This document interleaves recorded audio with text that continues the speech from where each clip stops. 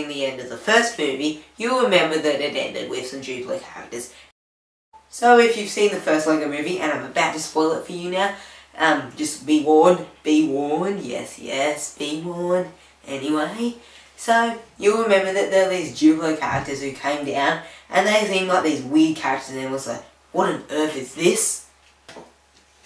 This film continues with that, except after the duplicate characters came, everything went wrong. Yeah, typical kind of movie thing. Everything goes wrong when these aliens from outer space come.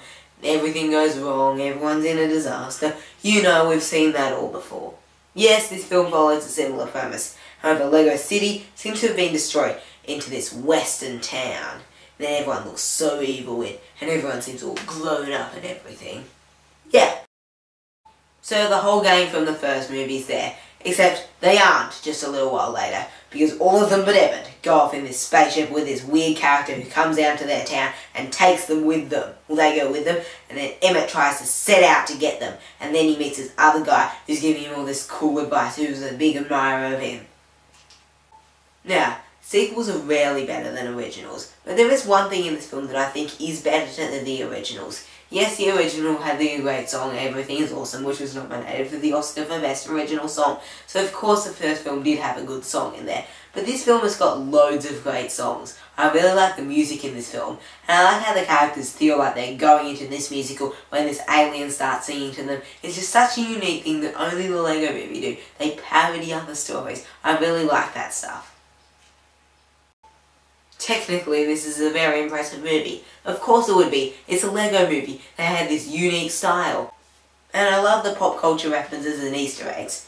Now, problems with this film. The story isn't just as clever as the first film. The first film was a really witty film and I really enjoyed it. This film I didn't enjoy so much. It still is a good film, but the story I wasn't as invested in.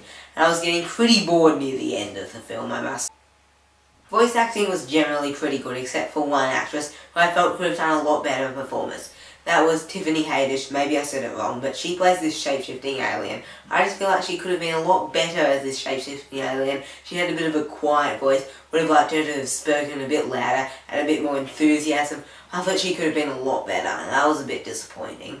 Also, there are things that happened in the story that I was thinking, I don't like this, but then something happens and I do like this. That's a bit weird and I feel like I experienced that that much when watching a film.